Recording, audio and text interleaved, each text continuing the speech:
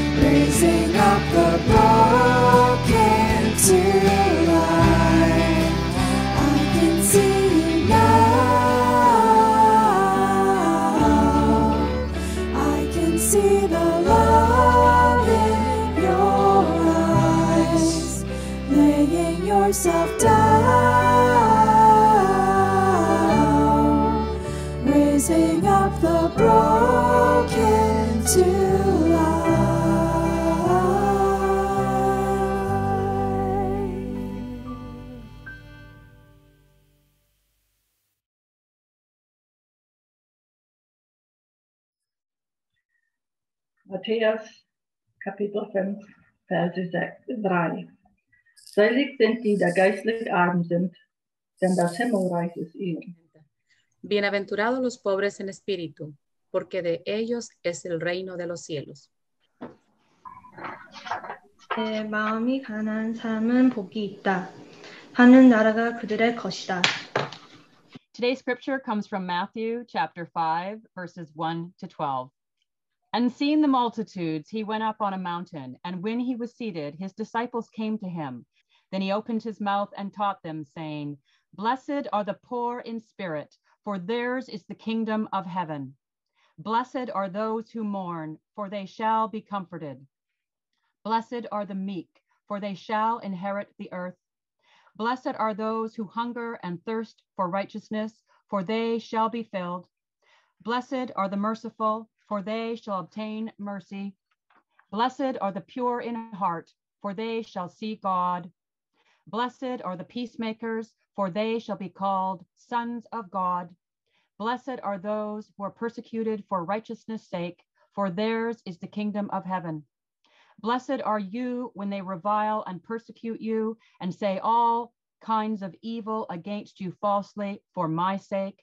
Rejoice and be exceedingly glad, for great is your reward in heaven. For though they persecuted the prophets who were before you, these are the words of the Lord. Well, good morning. And Jesus began to teach them, saying, Blessed are the poor in spirit, for theirs is the kingdom of heaven. When you picture successful people, who would they be? Are they multi-billionaires, movie stars, sports heroes, great writers, famous musicians, people with several PhDs, or famous scientists? Perhaps you're a little more, mo- perhaps a little more modestly, you would think of a person with a prestigious job, a large home, with a garage with several expensive cars, and kids that are popular and good at school. Well, maybe you're reminding yourself, oh, I'm a church, so I'd better be more spiritual. But honestly, what is your measure of success, your definition of the good life? What goals or hopes or dreams do you have for yourself, your children, or your grandchildren? I was driving with a good friend of mine when he we start he started talking about his university days. He said that he used to ride to UBC with three other guys, all church attenders. One day they started talking about who would be the most successful in life. He said they all agreed that it would be Art. And then he said we were right. Art eventually went to Harvard for his MBA and then became a really successful realtor. So I asked, is making a large amount of money the measure of success? And he, a Christian, responded, Well, of course. What else would it be? What else would it be? You, of course, now be honest with yourself, you might massage your definition of success a little more subtly. But how much of your view of success and the good life is influenced by the culture around you? Would being spiritually poor, mourning, being meek, hungering for righteousness, being merciful, being pure in heart, and being peacemakers be your definition of the good life? And would these be the attitudes that would help you want to achieve your definition of success? In my opinion, the attributes described in the Beatitudes are certainly not the traits that our culture rewards. Today, we're going to take a close look at the first Beatitude. The Beatitudes are part of the Sermon on the Mount. The Sermon on the Mount is a summary of the gospel and all of Jesus' teachings on what the good life is all about, how to get life to the full, life in the kingdom of God, the kingdom of heaven. The Beatitudes describe the attributes that people in God's kingdom will display and how they will, act. God's kingdom, where we live the blessed life or life to the full according to Jesus, has often been called the upside down kingdom.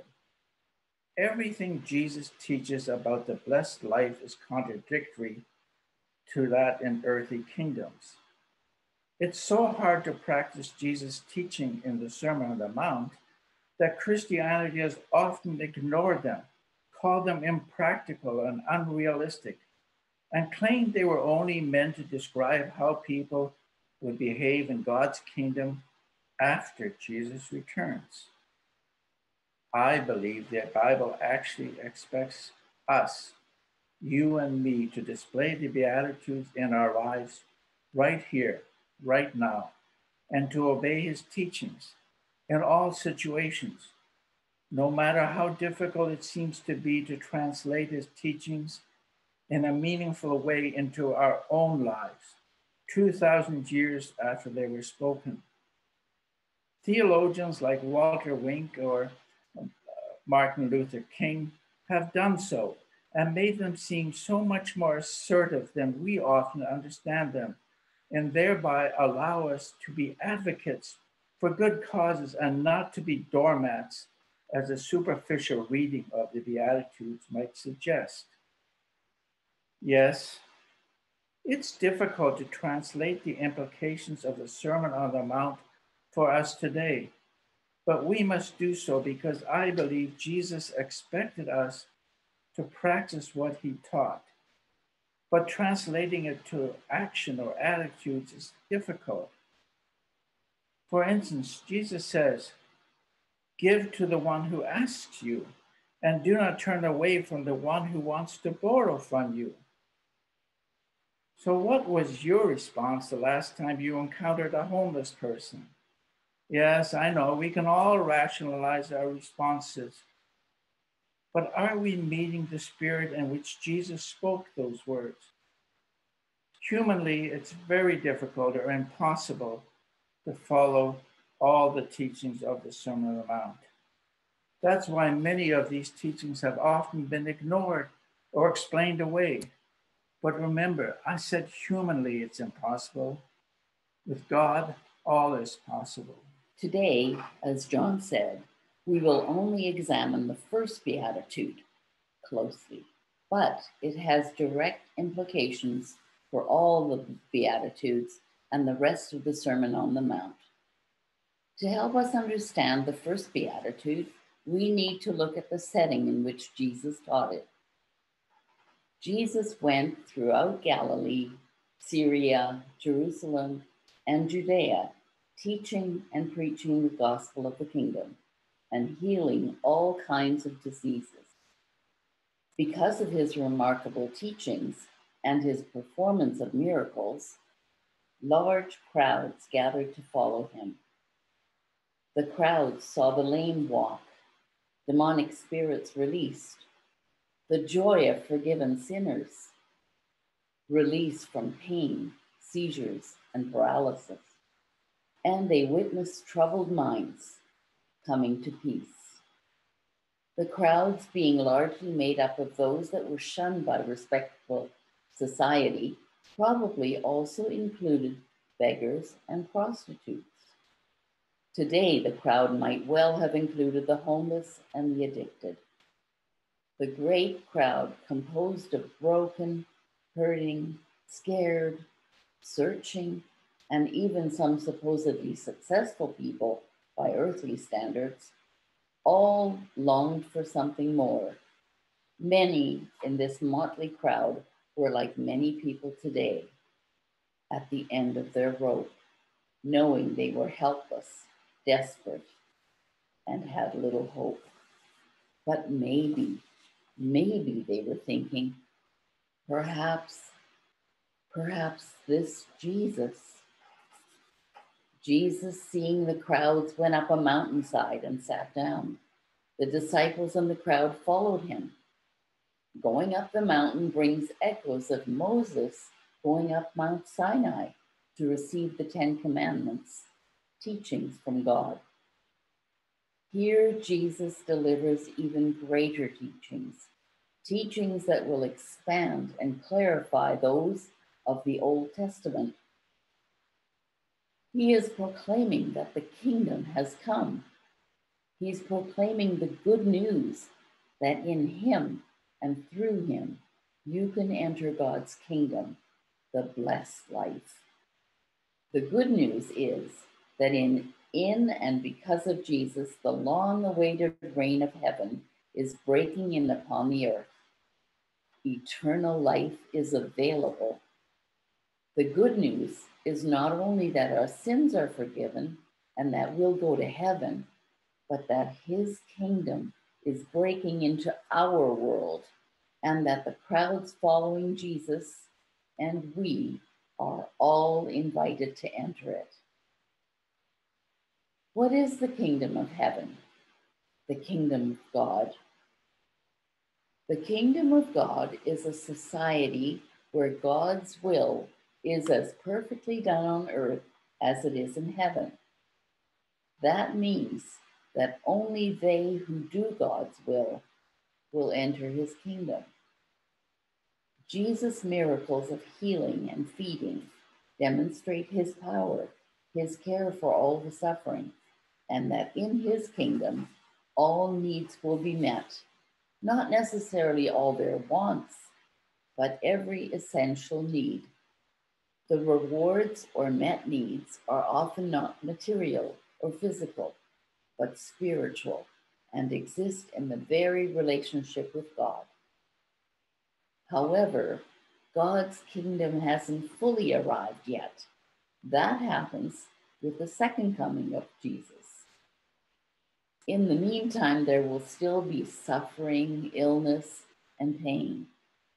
Nevertheless, those in God's kingdom will feel richly blessed because living the Beatitudes will draw them ever closer to God and into an ever deeper knowledge of Him. The Beatitudes, although not easy to understand, explain how this happens. Back to Jesus on the mountain. While it's true that Jesus is teaching most directly to his disciples, those, those are the ones who are committed to him. The crowd a little further away can also hear him, and they too are invited into the kingdom. How startled the disciples and the desperate crowd, made up of the ill, paralyzed, poor, and lame, must have been to hear Jesus say, Blessed are the poor in spirit, those who mourn, the meek, those seeking righteousness. Is this what it means to experience a good life? Really? How confused many of them must have been. How upside down this is compared to what most people think of as a good life. Today, we're looking only at the first attitude. Blessed are the poor in spirit, for theirs is the kingdom of heaven. We are looking at this beatitude because it explains how one enters God's kingdom and because the other beatitudes are directly connected to it. The beatitudes cannot be taken apart. They all belong together.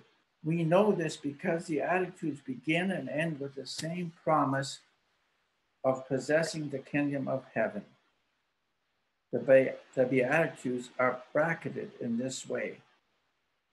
The Beatitudes, the word comes from Latin beatus, meaning happy or blessed, are pronouncements of divine blessing. The term blessed is makarios in Latin. The word describes those to whom God spoke as privileged recipients of God's favor. Many translations use blessed for makarios, but no English word does complete justice to its meaning. Happy is too weak because happiness comes and goes with circumstances. Peter Kreeft says, blessedness is an objective state. It matters not how I feel about myself and my condition, but how God feels about me and my condition. It refers to how God assesses us. When I'm blessed, it's because God is pleased with me. And the, so the term also suggests fortunate, approved, congratulations, right side up, joyful, and hopeful. This poor in spirit are blessed because they are right with God. They're approved by God, and because of this approval, they are secure, confident, joyful, hopeful, and happy. This is not a momentary feeling of happiness, but a steady feeling of well being and security.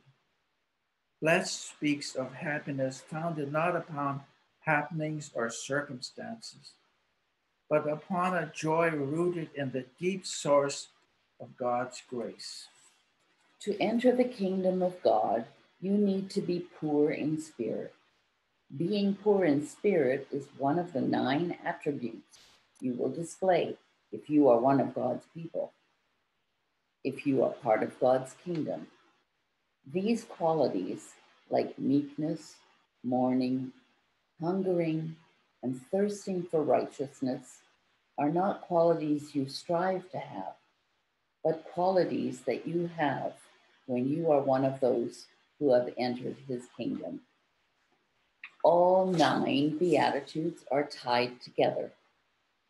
According to John Chrysostom, he, Jesus, hath woven a sort of golden chain for us with the Beatitudes. Thus, first, he, ha- he that is humble will surely also mourn for his own sins. He that so mourns will be both meek and righteous and merciful. That he is merciful and righteous and contrite will, of course, be also pure in heart, and such a one will be a peacemaker as well. Those in the kingdom of heaven will display all nine characteristics. Only those who are poor in spirit will be in God's kingdom. What does Jesus actually mean by the poor in spirit? Uh, poverty of spirit is the personal acknowledgement of spiritual bankruptcy. When we see the glory of Jesus as he really is, and the glory of the new world order that he brings into being, we become aware of how far we have fallen, how poor we are. Being poor in spirit is the conscious confession of unworthiness before God, the deepest form of repentance, utterly without moral worth.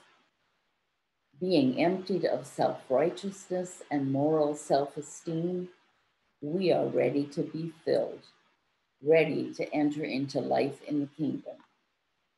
When we realize how little control we have of our lives, how dependent everything we possess and all that we have accomplished is and was dependent on God, we are ready to empty ourselves of our self interests and open ourselves to God. Let Him have control of our lives and trust Him fully. Being poor in spirit isn't advocating material poverty. Such poverty is never praised in the Bible. However, when we are well off materially, when we are seen as powerful and accomplished, when we have lots of friends, there is a temptation to think that we deserve these because we are good people and not by the grace of God. We might even think that when we have these things, they are a testimony of our standing with God. Many years ago, Betty and I were on holidays in San Francisco. It was a beautiful evening, and we were just leaving a restaurant where we had had a delicious dinner in the company of some of our good friends. It had been a great evening. We'd only walked a few steps in the peaceful twilight of evening when a homeless man came pushing a shopping cart and approached us. Betty and our friends kept walking, but I, for some reason, stopped. The homeless man was dressed in ragged and dirty clothes, But he looked me hopefully in the eye and said, Can I sing you a song? Well, I thought, this is a different approach for begging. So I said, Sure. Well, this disheveled young man sang the most beautiful rendition of his Eye is on the Sparrow that I have ever heard. I was moved to tears. I dug into my pocket for some change and asked him, Did you used to go to church? He gave me a look of pity and asked, Why did you ask? Used to.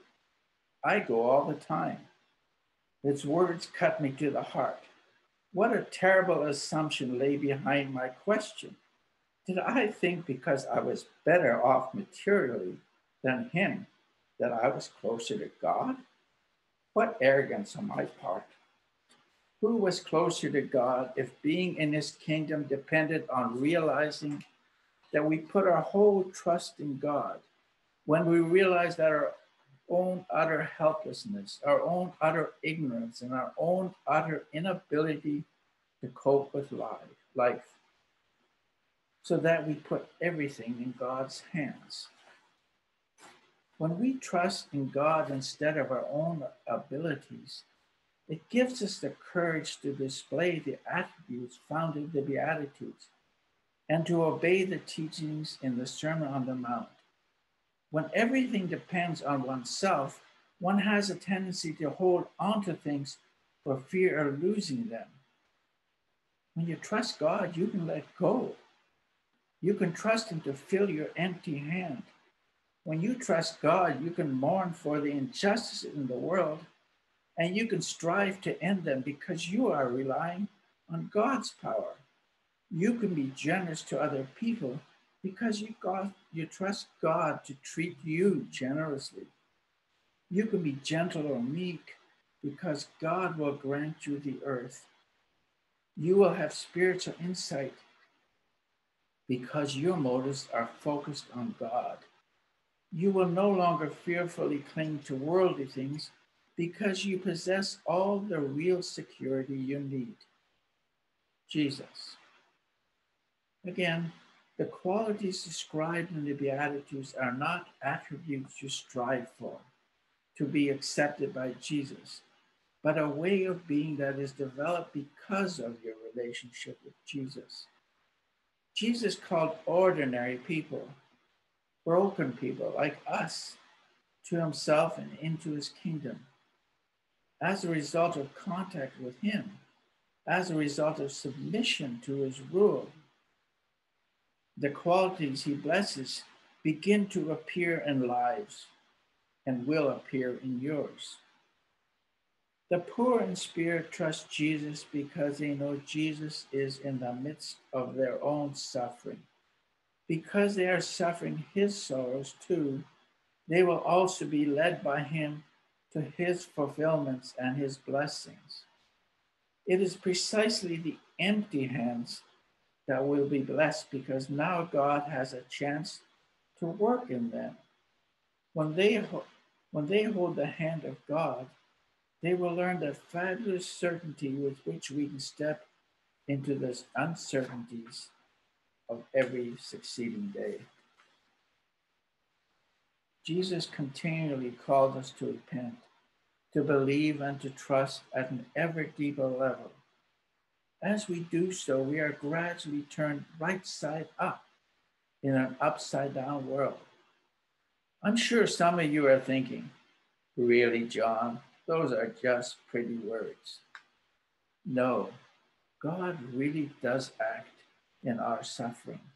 Helmut Thielicke describes it this way We have the signed statement sealed by the sufferings of God, of Christ that now those who go aimlessly stumbling through life are literally surrounded with joyful surprises because they will learn on this one, one condition that they really dare to trust God.